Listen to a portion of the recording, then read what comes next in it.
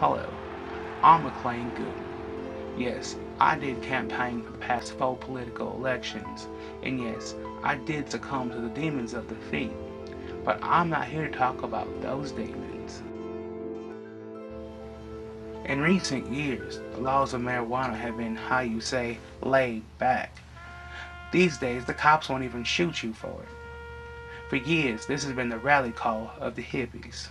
Now that the dopers get their Mary Jane, they have nothing to complain about.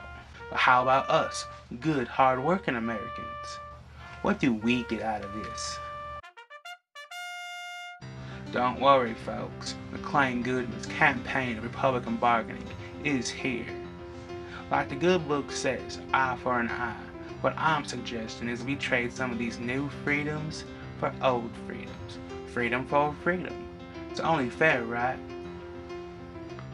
I think we deserve at least something in return. This is why I'm recommending we get laid back with another law. You know, to balance it out. Like discrimination. For years, us hardworking good Americans have not been able to express ourselves in the most fun way out there. Racism. I'm not saying we need to get mean. No lynching or anything like that. I'm just saying, how bad would things be if a racist Tuesday popped up on the calendar every so often? If I want to openly ridicule an entire race of people, I should be able to. This is America. Dopers get the dope. Racists should get the race.